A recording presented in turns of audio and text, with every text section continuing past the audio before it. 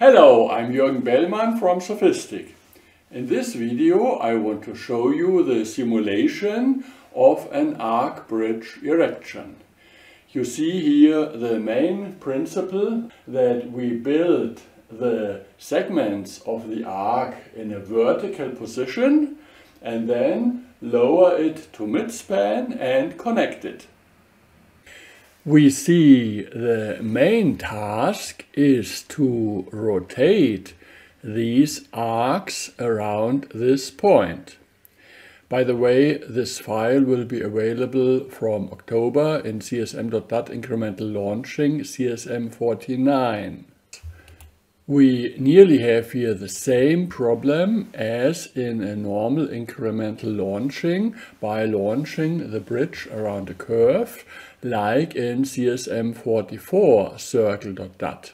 So we use the incremental launching command launch. There is also an kinematic.dat, a simple example where you can look how to use this launching method manually. We just rotate some elements around a point or to see what is really possible with this launching, we have an excavator file where we just rotate and move some parts to the right and left. And this is also done with the launching command. Now, how to control this for our arc bridge erection. We make it with CSM and in CSM, we usually can have two parts of the bridges launched from the right and from the left.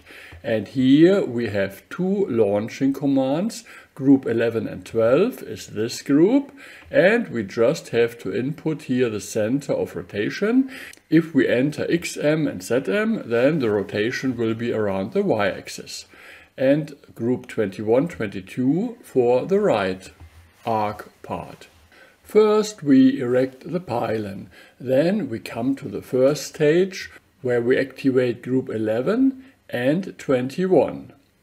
And we say we have a launching degree of 50 degrees and the first launching group that is here number 1 for group 11 will get a positive rotation and the second launching, that is launching 2 for group number 21, that is this group, will get a negative rotation. And we activate our groups first without dead load and then in the next step we activate the dead load of these parts. In the next step, we activate also group number 12 and 22. That is this part and this part. And we also make it in two steps. First, only activate the segment hanging on the crane without dead load. And then in the next step, activating the dead load. Then we come to the rotation.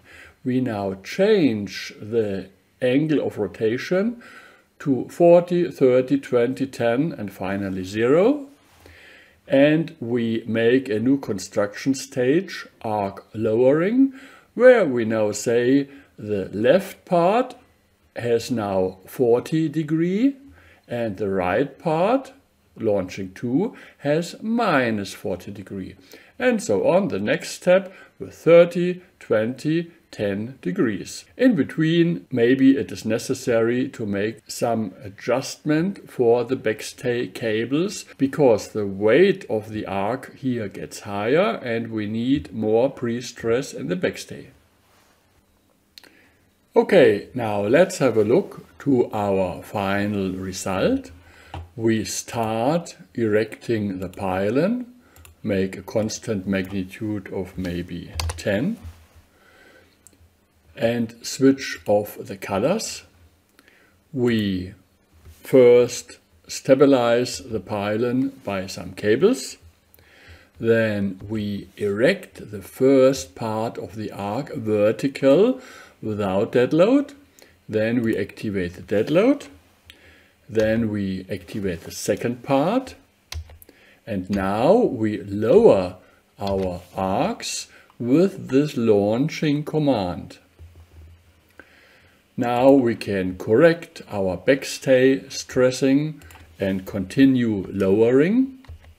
And of course, then at the end, we have to adjust our lowering so that we can now weld our pieces together. This is the closing of the arc. And now we can remove the main cables and start with the segments for the superstructure. That's all. Maybe it is important that all these stages have been calculated with a linear analysis, so not TH3, because every launching position for itself is a linear state like in incremental launching of a bridge. Of course, if you want, you can also add TH3, including cable sagging if you want. So, thanks for listening and goodbye.